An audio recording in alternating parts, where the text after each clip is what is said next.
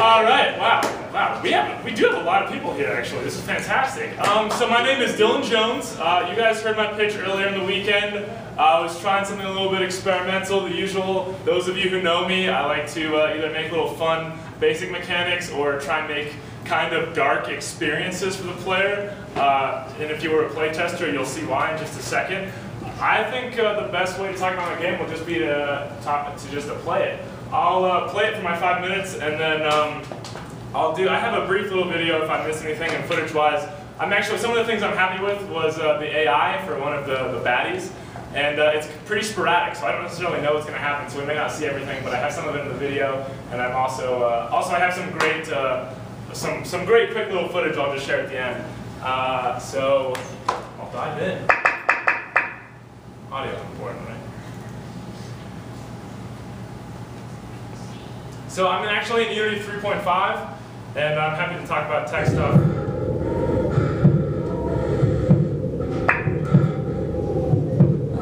That's not part of the game, but there.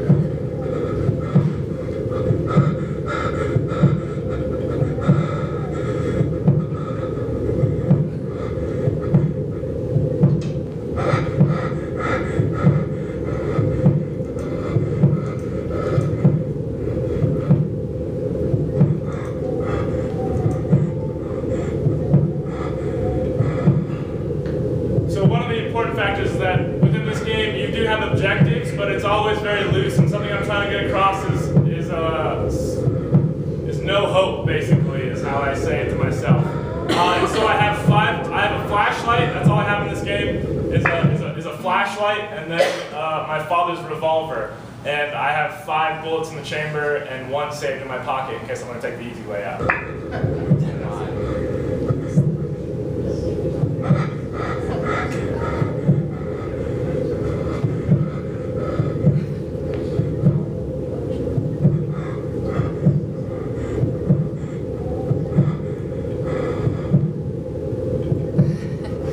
I have a little diegetic uh, tutorial I won't go through because I, I know the controls pretty well.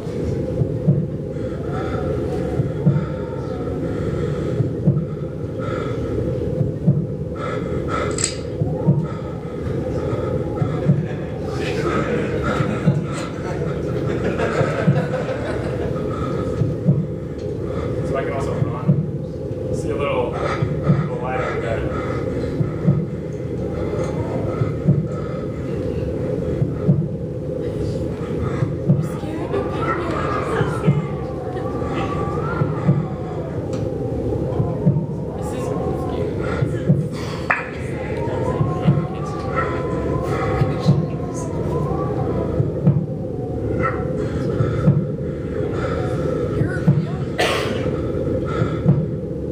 And thanks to Ryan for some of these fantastic sounds that we'll, get to in a second.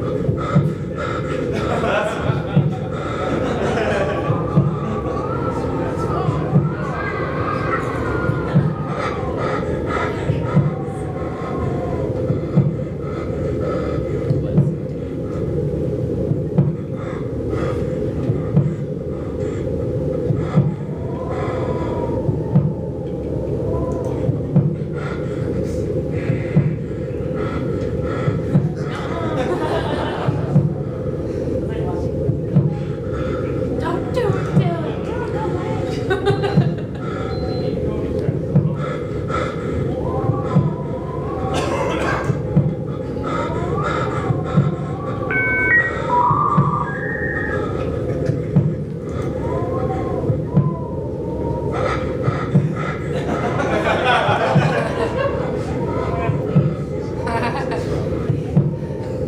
I won't do that.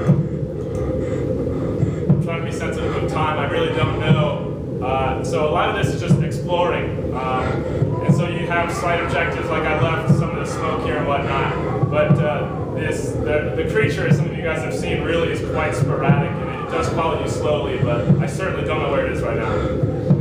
Oh. Thanks,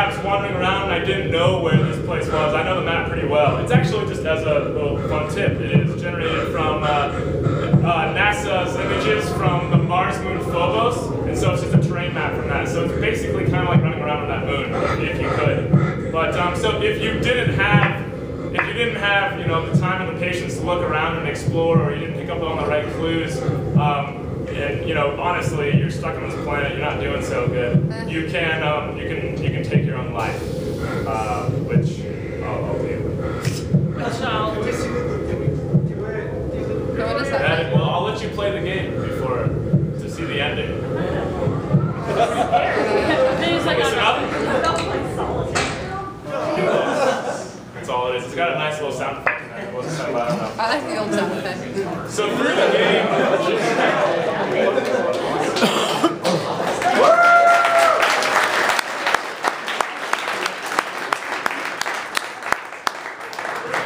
Um, so through so through the game, it's not just about uh, it's not quite as blunt as just shoot yourself in the face.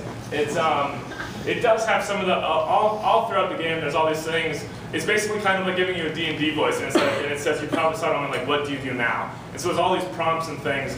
And then so depending on like what routes you can go, you can persevere and try through. That's a different experience. And then uh, okay, I'll finish up. And then so it kind of at the end of it makes a slight commentary on your life. So it asks you like, so what do you want to do now? So if you take your if you take your life in the game, that's a very different commentary than if you were to persevere through to the end. Uh, I'm out of time. I have a quick little video of some stuff, but uh, really I just want to. Uh, surface is really an experimental. Really, I just want to show my, my good friend and colleague Scott, which I think his, his reaction just made my entire game jam experience worth it. Um, this is exactly what I want to get out of players. So if you guys give it a, basically I'm just commenting on beginning, middles, and end and things in here, but uh, I'm actually really satisfied with how this game turned out in terms of an experience. It's like not very buggy, it works. It's got a beginning, oh, wait, hold on, okay. Is- so I, I, whenever I play test, I always record people uh, with the webcam or, or on my phone or something like that, and uh, so I can go back to details later. But um, so this was this was my favorite reaction out of all the play testers, which just made Game Jam for me once again. My, my final year here at DU, just totally worth it. So thank you, Scott. This is a good one. What the crap?